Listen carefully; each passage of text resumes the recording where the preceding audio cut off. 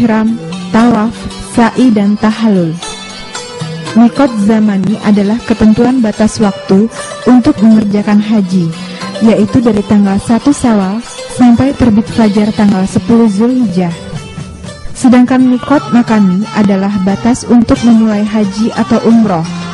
Bagi jamaah haji Indonesia gelombang pertama, mengambil mikot di Bir Ali Madinah dan di Bandara Udara King Abdul Aziz International Airport Jeddah bagi jamaah haji gelombang 2.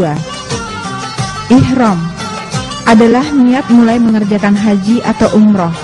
Sunat sebelum ihram terdiri dari bersuci yaitu mandi dan berwudu, berpakaian ihram dengan ketentuan bagi pria memakai dua helai kain yang tidak berjahit.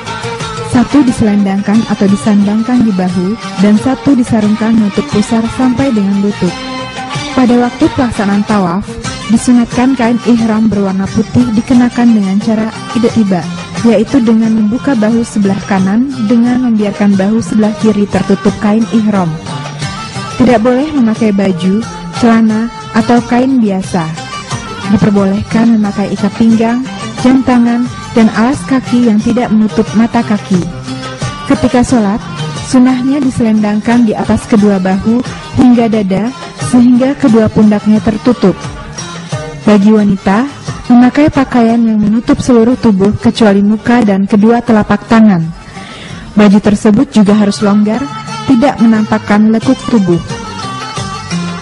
Memakai minyak wangi, menyisir rambut, memotong kuku, jika keadaan memungkinkan, melaksanakan sholat sunat ihram.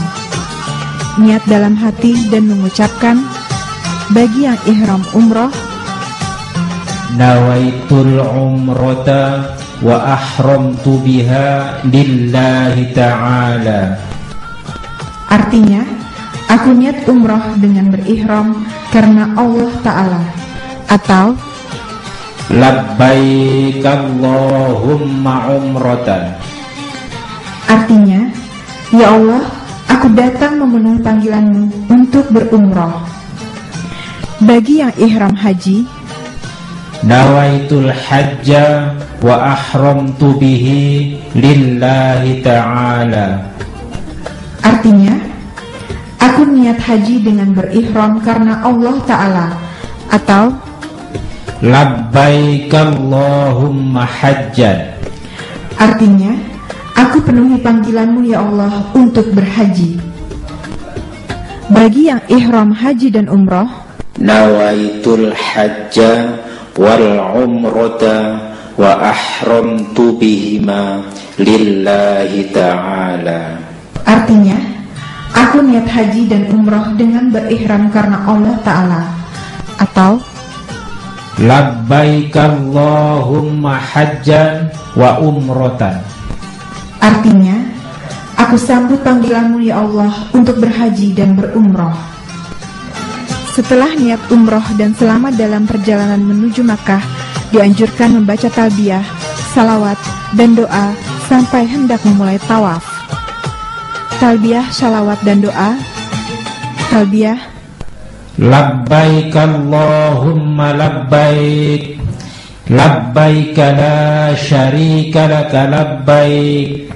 Innal hamda wan ni'mata laka wal mulk la syarika lak Artinya, aku datang memenuhi panggilanmu ya Allah.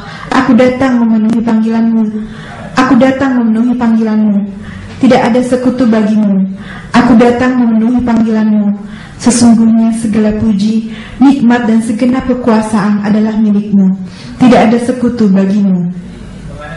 Salawat, Allahumma salli wa sallim sayyidina Muhammad wa ala ali sayyidina Muhammad artinya, Ya Allah, limpahkan rahmat dan salam kepada Nabi Muhammad dan keluarganya. Doa setelah salawat. Allahumma inna nas'aluka ridhaka wal jannah wa na'udzu bika min sakhatika wan nar Rabbana atina fid dunya hasana wa fil akhirati hasana, wa qina adzabannar. Artinya, ya Allah, sesungguhnya kami memohon keridhaan-Mu dan surgamu. Kami berlindung kepadamu dari kemurkaanmu dan siksa neraka. Wahai Tuhan kami, berilah kami kebaikan di dunia dan kebaikan di akhirat, dan hindarkanlah kami dari siksa neraka. Masuk Makkah dan berdoa. Masuk Masjidil Haram melalui pintu yang mana saja dan berdoa melihat Ka'bah dan berdoa. Ketika melintas di makom Ibrahim, waktu hendak mulai tawaf, disunahkan berdoa. Tawaf Tempat mulai tawaf adalah searah hajar aswad. Bila tidak mungkin mencium hajar aswad, cukup dengan mengangkat tangan ke arah hajar aswad dan mengecupnya. Pada saat memulai tawaf putaran pertama, mengangkat tangan ke arah hajar aswad dan disunahkan menghadap Ka'bah dengan sepenuh badan. Apabila tidak mungkin, cukup dengan menghadap sedikit badan ke Ka'bah. Pada tawaf putaran kedua dan seterusnya, cukup dengan menghadapkan muka ke arah Hajar Aswad dengan mengangkat tangan dan mengecupnya sambil mengucapkan Bismillahirrahmanirrahim. Artinya, dengan nama Allah, Allah Maha Besar. Pelaksanaan tawaf sebanyak tujuh kali putaran mengelilingi Ka'bah dengan memposisikan Ka'bah sebelah kiri badan. Selama tawaf disunahkan berdoa dan berzikir. Setiap sampai di rukun Yamani, mengangkat tangan atau istilam tanpa mengecup dan mengucapkan Bismillahirrahmanirrahim. Artinya, dengan nama Allah, Allah Maha Besar. Usahakan tawaf beregu atau berombongan. Selama tawaf jangan menyentuh Ka'bah, Hijr Ismail dan Syed Zarwan. Sesudah tawaf, apabila keadaan memungkinkan hendaknya berdoa di multazam, yaitu suatu tempat di antara Hajar Aswad dan pintu Ka'bah. Salat sunat dua rakaat di belakang makom Ibrahim atau sekitarnya, dan sesudah sholat berdoa. Setelah selesai sholat sunnah tawaf, sebaiknya minum air zam-zam di tempat yang telah disediakan.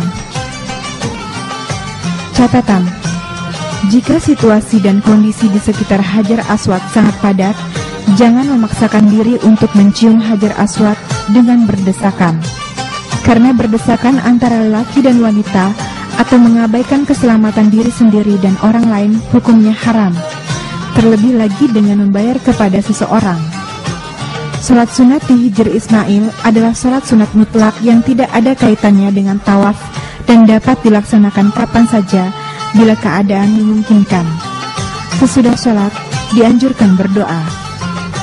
Setelah selesai tawaf, menuju ke Bukit Safa untuk melakukan sa'i. Sa'i Berdoa ketika hendak mendaki Bukit Safa. Setibanya di atas Bukit Safa menghadap kiblat dan berdoa memulai perjalanan sa'i dari Bukit Safa menuju Bukit Marwa dan berdoa. Perjalanan yang dimulai dari Bukit Safa dan diakhiri di Bukit Marwa sebanyak tujuh kali perjalanan. Perjalanan dari Bukit Safa ke Marwa dan dari Bukit Marwa ke Bukit Safa masing-masing dihitung satu kali perjalanan, sehingga hitungan ketujuh berakhir di Marwah. Setiap melintasi antara dua pilar hijau atau lampu hijau, bagi pria disunahkan berlari-lari kecil, dan bagi wanita cukup berjalan biasa sambil berdoa. Setiap mendaki Bukit Safa dan Bukit Marwa dari ketujuh perjalanan sa'i tersebut, hendaklah membaca doa. Tahalul Tahalul adalah keadaan seseorang yang telah dihalalkan atau dibolehkan melakukan perbuatan yang sebelumnya dilarang pada waktu berihram haji. Tahalul ada dua macam, Tahalul awal ialah keadaan seseorang yang telah melakukan dua di antara tiga perbuatan, yaitu mengantar jumroh akobah, kemudian memotong rambut, bercukur, atau tawaf ifadoh dan sa'i, kemudian memotong rambut atau bercukur. Sesudah tahalul awal, seseorang boleh berganti pakaian biasa dan memakai wangi-wangian, dan boleh mengerjakan semua yang dilarang selama ihram. Akan tetapi masih dilarang bersetubuh dan bercumbu rayu dengan istri atau suami. Tahalul Sani ialah keadaan seseorang yang telah melakukan tiga perbuatan, yaitu melontar jumroh akobah, memotong rambut atau bercukur, dan tawaf ifadoh serta sa'i. Sesudah tahalul sani, seorang jamaah boleh bersetubuh dengan suami atau istri